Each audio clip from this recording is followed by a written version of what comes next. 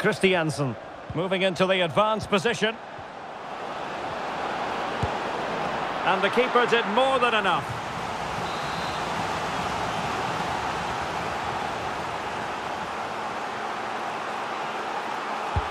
And over it comes. Oh, he's done it! Can you believe what we've just seen? Well, just look at this. He couldn't have hit it any better, could he? This is the perfect example of a bicycle kick. So on with the action.